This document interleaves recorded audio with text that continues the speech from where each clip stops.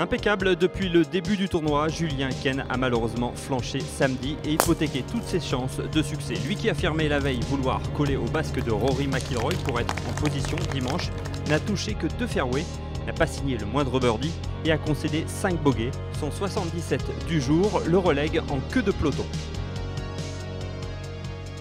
J'ai pas bien mis en jeu, raté beaucoup de fairway, euh, j'ai pas mis un putt de la journée, donc voilà. Journée oubliée.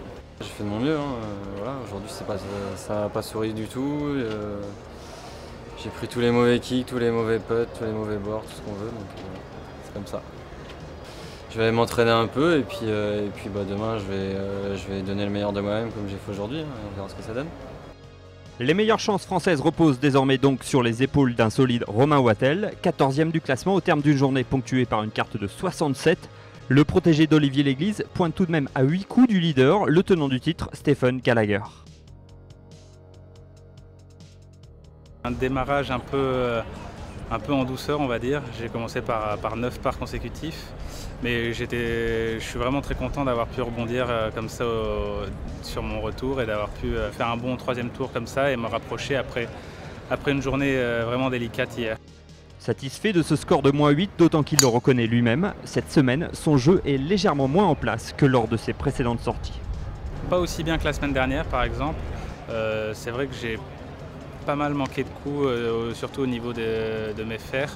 Donc euh, j'ai pas pu faire beaucoup de birdies en tout cas grâce, à, grâce à mon jeu de fer. Mais sinon tout le reste, tout, va, tout va pour le mieux. L'autre satisfaction du camp tricolore est la troisième carte sous le par signée par Raphaël Jacquelin. Pas très à l'aise sur les 9 premiers trous, le Lyonnais s'est bien repris pour finir par 3 birdies et un score de 69.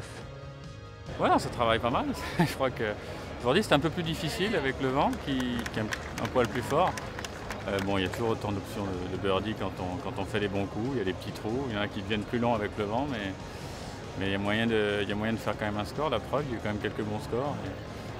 Et si on arrive à recoller au, classement petit à petit, c'est ouais, bien, c'est positif en tout cas. J'ai surtout bien fini avec trois birdies. Avec, euh, avec pas mal de bons putts aujourd'hui, j'étais un peu plus agressif sur la, sur la vitesse. Et, et ça payait, même si j'ai pris deux fois trois putts, mais je crois que c'est un peu le, c'est un peu le prix à payer si on veut, si on veut aussi faire des birdies. Donc euh, voilà, ça fait partie du jeu. Moins 3, de toute façon, je prends. Je prends.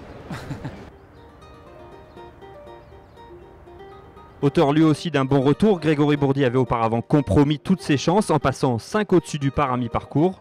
Le Bordelais recule au classement, comme Grégory Avray, auteur d'une carte dans le par, Stahl qui n'a signé samedi qu'un score de 73 et Alexander Lévy dépité après n'avoir pu faire mieux que 76.